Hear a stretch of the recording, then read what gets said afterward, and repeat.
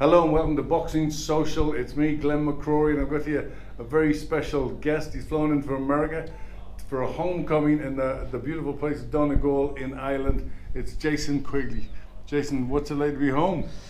Unbelievable, as you've seen, you know, Glenn out there, the support's unbelievable. Um, this is what keeps me going. You know, I'm a fa- I'm a long way away from home, out in LA, and you know, coming back here and knowing the support that I have, it keeps me going out there. And people say, you know, LA this, LA that, but you know yourself, once you're in training camp, it's eat, sleep, train, repeat, you know, and that's exactly the way it is out there. But of course, then when I get my downtime, I can enjoy the enjoy the, the real parts of LA. Then You're 13 fights undefeated, 10 knockouts. Great start to your career. Just coming off a, your, your best win, the North American Boxing Federation title. What does that mean to you? It means a lot. You know, as I said earlier in the speech, you know, for everybody, before that fight, that was my world title fight, and now that I got it, it was only a minor step on the road that I want to go down. So for me now, that was just a stepping stone to where I want to get to. I want to be able to come back here, that I'm gonna have to put the belts in bags.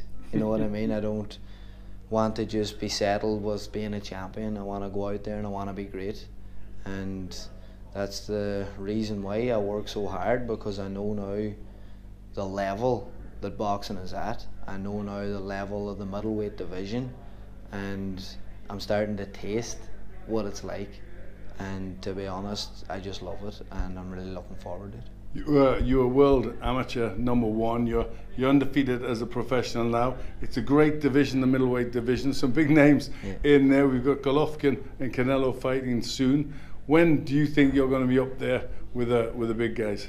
before when people interviewed me and mentioned Canelo and Golovkin, I looked at them as like idols. You know, I looked at them as like people that I look up to. Now, when you say them, I get nervous because I know what can be down the line for me, and I know that them men can be waiting there for me. They're champions. They are where I want to get to. So of course I'm looking at them. I'm looking at their weaknesses. I'm looking at what they're strong at, but I don't fixate myself on them because you know boxing as well as anybody. Who says when my shot comes that they're going to be the champion? Of course. So why would I do all my training, base it all around the champions, and when it comes, I could be in with a guy the same as myself, coming up through the ranks, and getting ready for the big title shot. So for me, I concentrate on my own performance. I concentrate on perfecting everything, making myself the best I possibly can be, and when my shot comes, I'll be ready for it. You've attracted the best of the best in Golden Boy and Yeah. Oscar De La Hoya. So, do you think that's going to be a, a big bonus for you? Well, name me another promoter out there that has been to the levels that Oscar has been to, mm-hmm. that has been promoted, that has been managed, knows what it's like. You know, you've been a professional. You know what the professional game is like. It's not as much of a as a sport anymore. It's a business slash sport, and that's what we have to remember. Me and Golden Boy have a great relationship my team management have a great relationship, Sheer Sports, and you know, every professional boxer going forward needs a good stable around them. Because if you have a good stable around you, you go into that ring mentally confident, and that's one of the biggest things I think that a person should go into the ring with. And the big question is, when are we going to see Jason Quigley in Ireland? Definitely, very, very soon. I've been talking to my management, I've been talking to Golden Boy, and I have told them, I says, I couldn't really tell them a year ago hmm. because I was only coming up. I didn't have the reputation to start kind of not calling shots, but to start making my thoughts heard.